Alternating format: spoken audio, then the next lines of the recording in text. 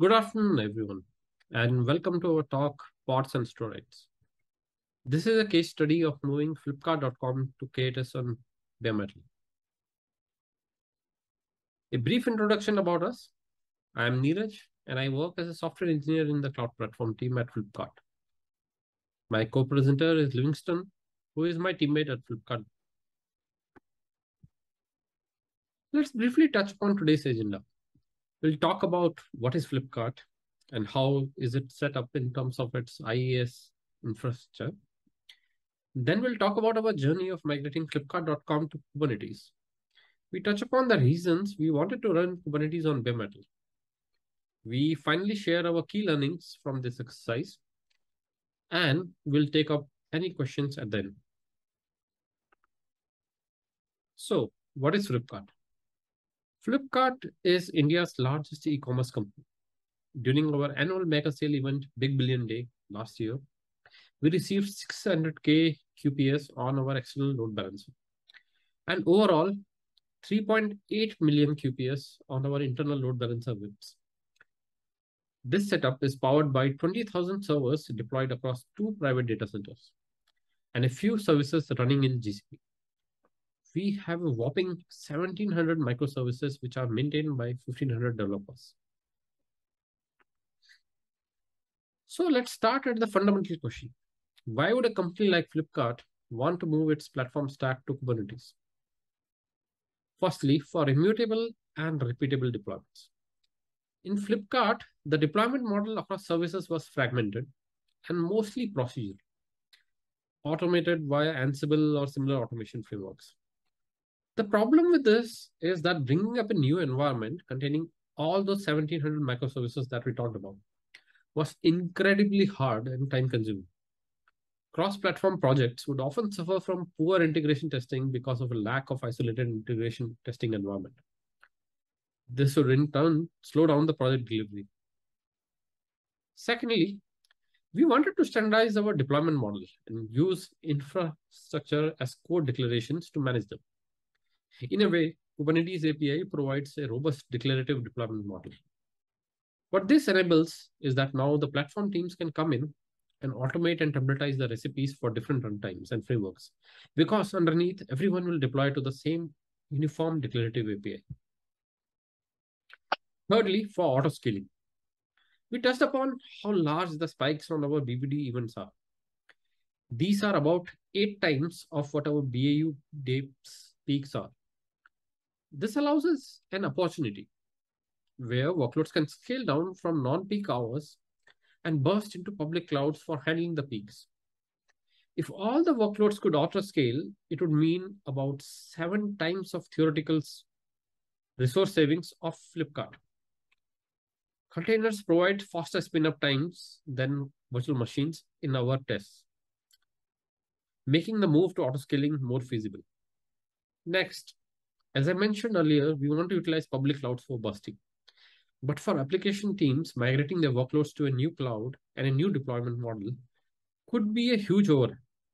Kubernetes API being cloud agnostic allows these workloads to seamlessly work across private and public cloud with minimal changes. Lastly, our custom virtual machine-based infrastructure stack was robust, but lacking in features that developers wanted. That is, auto scaling, auto healing, spin up times being slow. We came to a stark realization that we, as a small team of 50 developers, cannot keep pace with the demands if we continue to run a proprietary closed source stack. We instead decided to leverage the power of the CNCF community to modernize our IaaS stack. Let's discuss about our tenancy model a bit. I think it's fair to say that despite its huge benefits, Kubernetes is hard. And Kubernetes cluster management is extremely challenging for the uninitiated. We decided that it would make sense to have these cluster management responsibilities taken by a single cloud team that would manage the uptime and scalability of all the Kubernetes cluster. App teams are then provided namespaces and resource quotas in the clusters where they can deploy their workloads. This means that not all of the 150 odd teams have to learn how to manage a Kubernetes cluster. In Flipkart, hmm. we have six production clusters spread across three regions and two cloud providers, private and GCP. The largest cluster runs 3,000 nodes, 1,400 microservices, and handles more than 30,000 pods. One question we get asked is why did we choose to host small number of large clusters versus a large number of small clusters? Firstly, in private data centers, we are dealing with fixed static size servers. Having larger clusters allows for more variety in pod sizes, which in turns means we waste less resources due to bin packing wastage. Secondly, large clusters allow complementary workloads to upscale and downscale and allow transfer of capacity between them more fluidly. I know this is also possible using cluster autoscaling, but node provisioning is and will always be slower than the scale at which autoscaling needs to happen. This would also get magnified with slower bare metal provisioning. It also means larger chunks of freed capacity in the cluster that can now be used by other workloads. Larger clusters also mean lesser control plane management overhead in terms of the number of masters nodes, the Prometheus node pods, the Grafana and other control plane tools that are deployed per cluster. On the flip side, managing large clusters is a lot harder. We did struggle with API server memory spikes initially. But with careful understanding of API server flows, choosing the right resource limit for each control plane pod, and tuning the API server priority and fairness quotas, we have managed to make this fairly stable. As of today, more than 90% of our stateless services are running on Kubernetes. We ran BBD 21 with these services on Kubernetes. Stateful services are provided by managed database as a service offering provided by our platform teams, which are also being built from the grounds up using CNCF projects like TIDB and Apache. The migration of other stateful stacks is ongoing as we invest heavily in building and hardening database operators. So let's talk about what are the challenges faced during this migration. Firstly, as we touched upon, managing the stability of the control plane is very hard. Secondly, when migration is carried out at such a large scale, both human and microservices, there's a lot more entropy than what we would have assumed for a simple exercise. We had to face issues where app teams would come and say, hey, my pods are latent than my virtual machines, and I don't know why. Can you help? We would find that there were frequent JVM argument mismatches between the two setups. Devs would be using older versions of Java, which would not have container support. There would be duplicate versions of jars in the class path causing functional and performance issues. For example, logging being done asynchronously in the virtual machines versus synchronously in the pods. Next, we were in a stage of moving our virtual machine fleet from Deb 9 to Deb 10. Hence, most of our workloads were running older 4.x kernels. But for Kubernetes, we chose to run newer 5.10 kernel, which was also required by Cilium. The Spectre and Meltdown and other vulnerability fixes that were pushed between these kernel versions have degraded the performance for pods vis-a-vis -vis VMs. We ran benchmarks with the mitigations turned off and observed an improvement of 5 to 10% in our synthetic benchmark tests. Moving on. There will always be very few servers in such a large fleet which have CPU frequencies that are being throttled either because of overheating, BIOS misconfigurations post-maintenance, and so on. This manifests to users as one of the instances in their services having higher tail latencies app teams would delete and replace these instances. In VMware, this was less visible to users as VM sees smaller churn rate and hence over a period of time of users deleting these virtual machines, we reach a sort of stable configurations where virtual machines are less concerned with tail latencies, sit on these slow servers. In Kubernetes, because of higher pod churn rate, the same services would frequently keep on getting scheduled on these nodes and one-time deletion would not work. We also observed issues where teams would benchmark and qualify their services only to see them degrade during central NFR runs where all the services are being scaled simultaneously. In such cases, most cores on the underlying servers would spike, causing Intel's Turbo Boost to switch to all-core turbo of 6.6 gigahertz from 3.1 gigahertz for single-core turbo frequencies. All the above performance issues could be attributed to external factors, but we had some services in our user path which used to run on LXC, on bare metal. These services saw significant perf degradation simply because on LXC they were able to avoid the virtualization overhead. And this forms the motivation for the next key milestone in our hmm. Kubernetes journey, that is running Kubernetes on bare metals. So why did we start running Kubernetes on virtual machines in the first place? We had a mature virtual machine provisioning stack, and it made sense to start running Kubernetes on virtual machines to get a quick start on our Kubernetes journey. And also, we didn't want to introduce the virtual the isolation stack within our Kubernetes stack. We wanted to continue with our matured isolation stack. Moreover, we always had control over our Kubernetes clusters, and we decided that we could always switch the nodes to virtual to bare metals in future without involving the user teams. So what were the considerations for running Kubernetes on bare metal? Firstly, as we touched upon, workloads which were migrating from LXC demanded bare metal performance.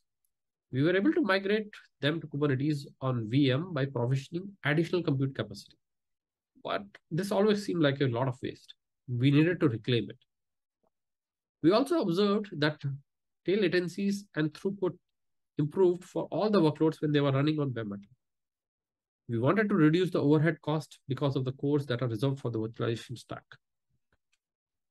On the security front, we argued that since we were running only one virtual machines per server, the pods running, if they ran directly on the bare metal, was not any less secure than the model in which all of the pods were sharing the same guest kernel on the server. As a bonus, migration some of the control plane packages to daemon sets would make the deployment lifecycle easier to maintain.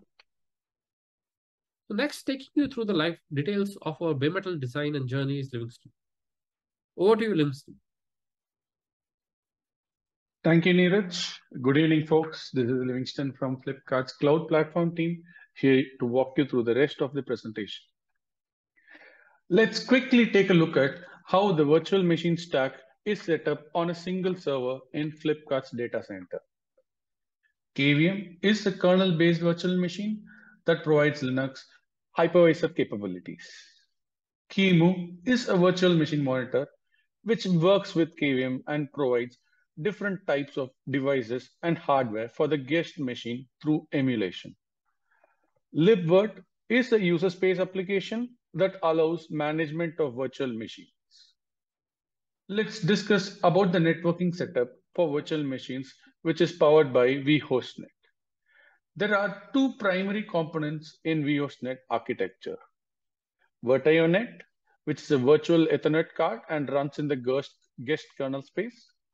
vHostNet, a kernel module that runs in the host kernel space and implements the vhost protocol required for VirtIO networking. Apart from these, there is a Linux kernel bridge, which is used to forward packets from the vHostNet module to other guests on the same server or on other servers. Our in-house VPC stack has a control plane that allows us to define isolation policies for different VPCs. There is a data plane component of this VPC stack that runs on the host server and programs corresponding IP tables rules on the respective network interfaces. Like Neeraj already discussed, we decided to run Kubernetes on VMs instead of bare metal for a couple of reasons. One was that we were already having a mature VPC stack for configuring network isolation rules, and we didn't want to re-architect that as part of the Kubernetes migration. Secondly, VMs are faster to provision. Lastly, our team structure didn't give us control over the roadmap of the isolation stack and bare metal provisioning when we started the Kubernetes project. So instead, we chose to run on large VMs that were as big as the entire bare metal server. On the bare metal, four cores are reserved for running host OS along with the VPC data plane, virtualization control plane, and other agents that detect hardware failures. On the guest, two cores are reserved for the guest OS, kubelet, containerd. Another 2.6 cores are reserved for running daemon sets. One of them is Cilium that provides us eBPF-based network stack. We primarily used it for bandwidth control. Although it has capabilities for providing network qualities, we continue to use in-house VPC stack that was built and runs on the host OS. Some of the other daemon sets are the logging agent, node exporter, and node problem detector. The remaining 87.4 cores are used to host user workloads. Now that we are already on Kubernetes powered by VMs, and the organization has seen the benefits K8s as a platform provides in reducing ops overhead as well as better deployment models, we decided to move Kubernetes nodes to bare metal. In this model, Two cores are reserved for the host OS. Another 2.6 cores are reserved for platform-owned workloads like Cilium, logging agent, node exporter, and node problem detector. When we compare running K8s on VM with running K8s on VM, we will see some of the redundant components were removed. Instead of having two separate components for network policies, we have only Cilium now. The virtualization control plane that allowed the central VM orchestrator to spin up VMs is no longer needed. The agents responsible for identifying hardware failures on the host OS are now replaced with daemon sets like node problem detector. From the removal of these redundant components, we were able to save four cores per node that translates to almost 40,000 cores across our two private data centers. Apart from the savings that we saw earlier, we also wanted to quantify the throughput and latency improvements by running Aerospike YCSB benchmarks. In this session, we will talk about the 100% read test. The CPU that was used for this test is an older generation Haswell server that is running in one of our older data centers. The CPU is Intel Xeon E5 2670 and the NIC is Intel 82599 10G gigabit dual port NIC. The host OS is Debian 10 kernel 4.19 and the guest OS is Debian 10 kernel 5.10. On the Kubernetes bare metal node, the OS is Debian 11 kernel 5.10. The pods that we used for the test was 16 cores and 16 GB memory. Now, as you can see, the throughput and the mean latency was measured for three different types of uh, tests. In addition to the vHostNet networking architecture that we use in production, we also benchmarked another networking setup where the SR-IOV VF is configured as a PS, PCI pass-through device in QEMU. In this architecture, the packets from the guest kernel go directly to the NIC and not via the host kernel. We observed 80% increase in throughput between the vHostNet architecture and running Kubernetes on bare metal. We also saw a 45% improvement in the mean latencies. When it comes to the 95th and the 99th percentile latencies, we observed approximately 50% improvement. Now, let's move on to some real world benchmarks that we have done with a couple of our large user path systems. MAPI, which is short for Mobile API, serves requests to all frontends by aggregating data from a large number of microservices within Flipkart. By front ends, we refer to different channels on which Flipkart can be accessed, like Android app, iOS app, the mobile site, as well as the desktop website. MAPI calls close to 200 microservices. The benchmark was run on a single pod with the SLA of 95th percentile being below one second. The CPU utilization was about 90% in both cases.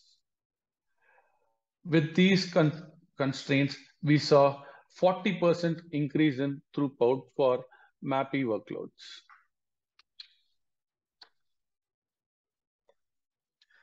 Now let's move to another service called Athena. Athena is a microservice that serves product serviceability data for products available on Flipkart.com. Qualifying Flipkart.com scale is generally done through centrally coordinated NFRs. The data shown in this slide is from a couple of such NFRs. Athena runs a total of 250 pods with 16 cores and 35 GB each. In this test, we have compared data where the throughput is around 30K. With that, we were able to see approximately 60% improvement in both mean as well as the tail latency.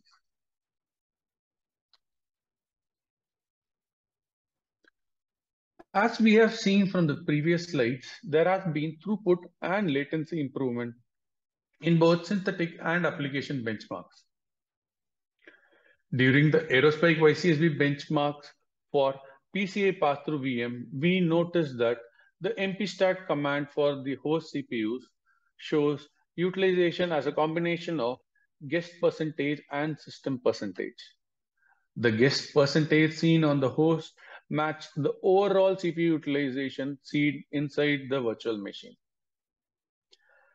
The virtualization overhead is not the same for all applications and is generally higher for applications that are more IO intensive than those that are more CPU bound like inferencing of machine learning models.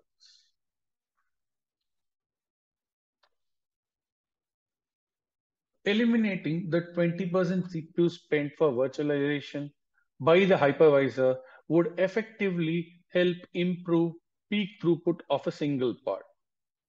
This in turn would translate to reduction of the deployment's replica count, effectively giving core savings.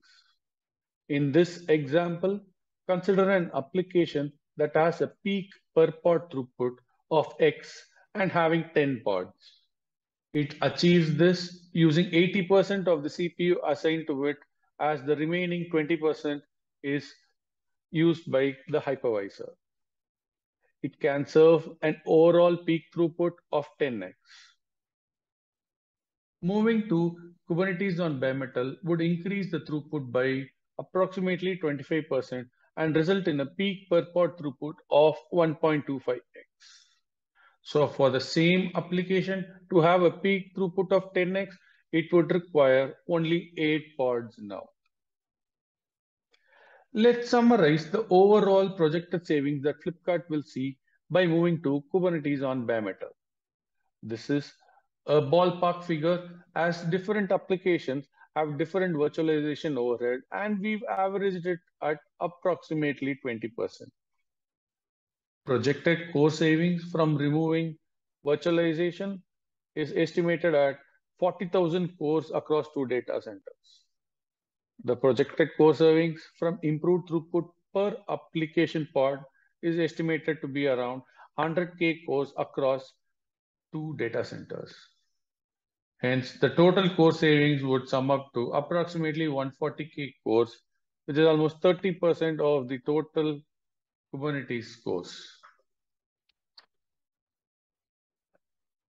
During our journey of migrating to bare metal servers, we have learned a couple of things. ARFS is a feature that ensures incoming packets are processed by the same cores where the application is running. Unfortunately, this feature breaks when we run applications that use high number of threads. We have ascertained this behavior in both Intel 82599 and the Intel E810 NICs. Another important learning is that bare metal provisioning is an often overlooked requirement as they are not exercised very frequently. But if we want to have our infrastructure provision declaratively using something like cluster API, then we need this to be more robust and faster. One open source option that we've seen till now is the Tinkerbell project. With the success of migrating a couple of large user path microservices to bare metal Kubernetes nodes, we are looking forward to expanding this project for other types of workloads like stateful and Istio enabled workloads. Another avenue for improvement will be faster and consistent provisioning of bare metal nodes. Cluster API is a project that allows declarative management of Kubernetes clusters. Writing a cluster API provider for Flipkart's IaaS stack would help us manage our Kubernetes clusters declaratively. The final point is that even though we have shared some benchmark results, we would want to publish a white paper on the benefits and cost savings of moving real world applications from Kubernetes on VM to Kubernetes on bare metal nodes. Thank you everyone for letting us share the experience of migrating a large enterprise like Flipkart from virtual machines to a container orchestrator like Kubernetes. Thank you.